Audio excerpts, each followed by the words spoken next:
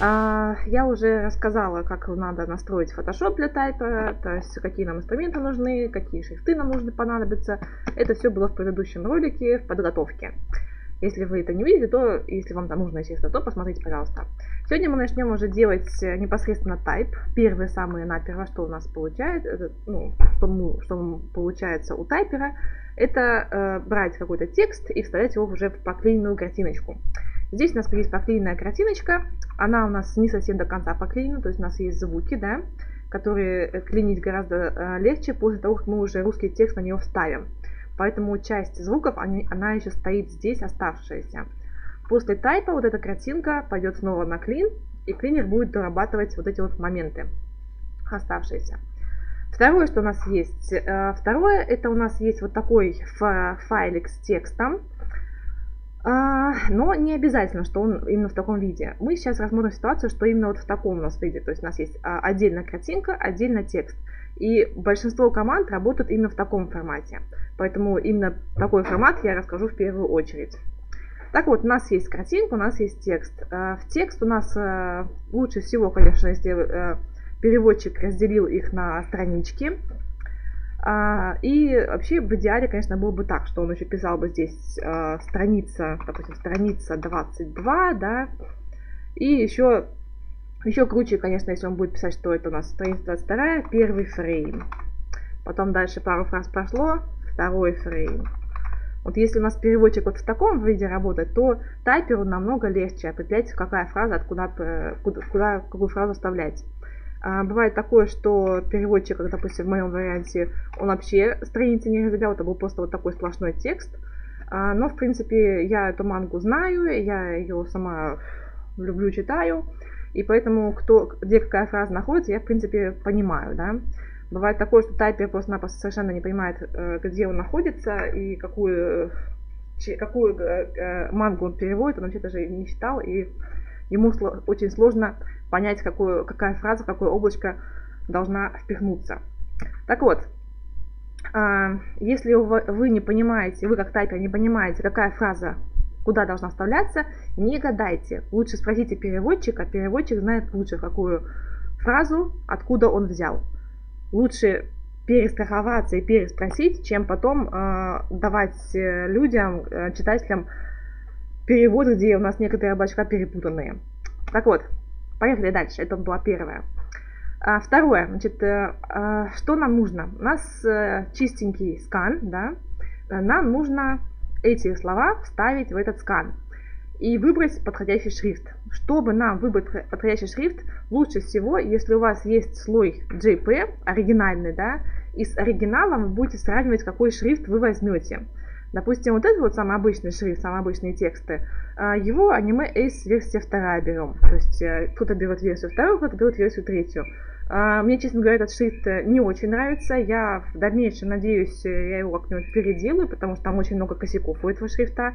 И, ну, возможно, я не буду переделать, возможно, я какой-то найду какой-то шрифт более-менее лучший для данного произведения. Ну, в общем, посмотрим. Я пока еще не решила, что с этим буду делать. Вот, значит, для обычного текста берем аниме Ace, версию вторую.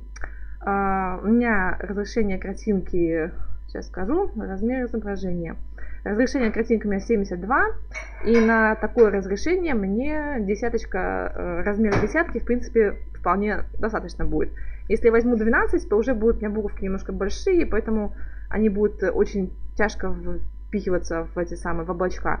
А облачка бывают у нас э, не только такие широкие, да, бывают они и поуже, вот такие, допустим, да, или вот такие двойные. И с этим уже будет немножко проблематичнее. Итак, взрывается. А, значит так, э, находим первую фразочку. Это у нас последняя страница, поэтому ее легко найти на самом конце. Вот это я уже ее определила. Первая фраза, вот это, мы ее копируем, Ctrl-C. Эти знаки, естественно, мы не берем, потому что зачем они нам нужны в манге, да? Это просто человек решил э, такими э, палками э, показать, что, мол, это отдельное облачко, да? Вот. Берем первое текст, Ctrl-C копируем.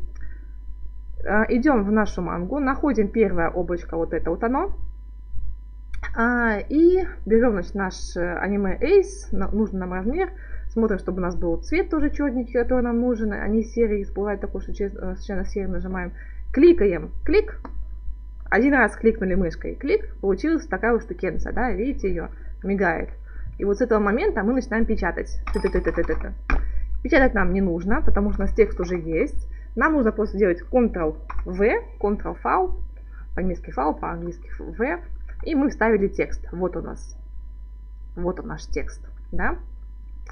Что ты хотел? Вот, э, я хотел просто прочитать там. Хорошо, спасибо. Иди завтракай. Вот, первый текст мы вставили. А почему э, мы не сделали вот так? То есть мы не выделили область и вот так вот не вставили. Потому что вот такой вариант редактирует гораздо хуже. Но об этом я расскажу уже в следующем уроке. Сейчас просто-напросто давайте сосредоточимся на том, что мы его делаем вот так просто клик, вставили, клик, вставили. Вот таким движением мы будем делать весь наш текст. А, его пока что мы не центруем, пока что просто мы его вставили. В первую очередь мы просто вставляем текст. Ищем дальше, идем дальше. А, вот такой текст. Смотрим, что он у нас отличается от оригинального текста. А, шрифт в смысле. И он у нас более толстый и более гладенький. Да? Самая отличительная черта, то, что он более толстый.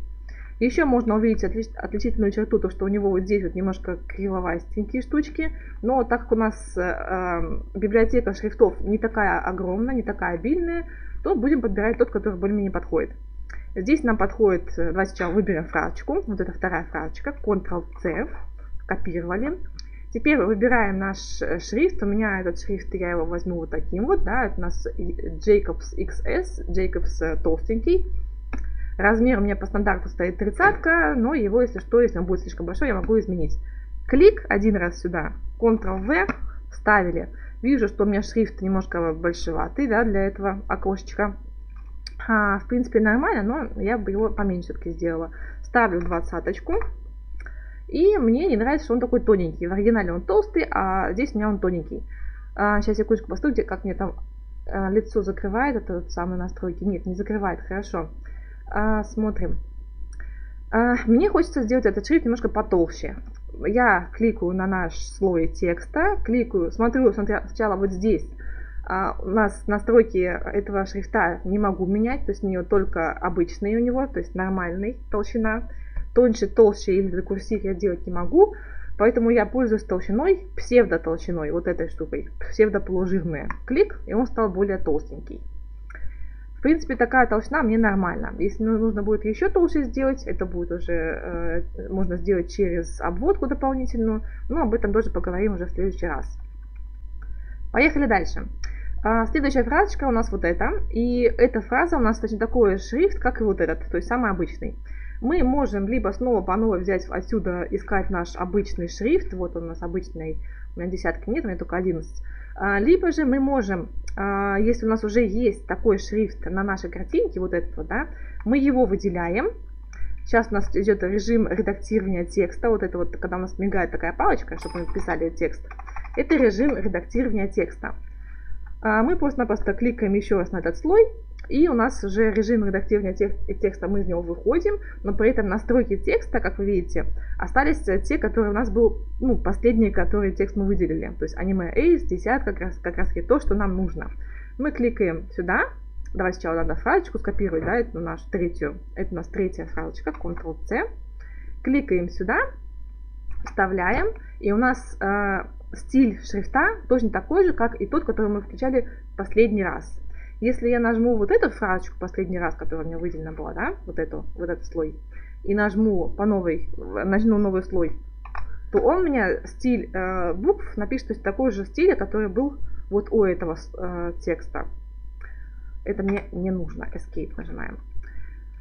Поехали дальше. Вот эта фразочка. У нас здесь шрифт, в принципе, а, обычный, просто чуть побольше, чуть потолще. Да? Конечно, тут есть разница все-таки в буковках, да, они, вот эти не более а, плавненькие и так далее. Но, в принципе, я здесь разницу никакую не ставлю. То есть это будет мне то же самое аниме Ace, просто побольше и потолще. Выделяем следующую фразочку. Ctrl-C, копируем. А, мне нужен снова аниме Ace, то есть я вот эту, вот, вот эту фразочку беру, выхожу из режима редактирования текста, либо же я просто кликаю на этот слой вот таким образом. Кликаем здесь, а, вставляем фразу нашу четвертую. А, дальше мы ее должны сделать побольше, делаем ее, скажем, 14 и потолще. Здесь у нас есть толщина, в шрифте Anime Ace версия 2 мы можем сделать толстый ее. Такая толщина в принципе, нормальная.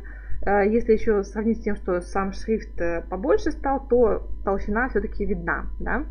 Если такая толщина вам э, недостаточно, вы можете включить, включить еще вторую толщину, вот эту, и будет он еще толще выглядеть шрифт. Без, секундочку, без второй толщины, со второй толщиной, жирность точнее. То же самое делаем здесь, здесь, здесь и здесь. А, здесь у нас дальше идут а, двойные облачка, и по них уже расскажу в следующий раз. На этом пока что все. Спасибо за внимание.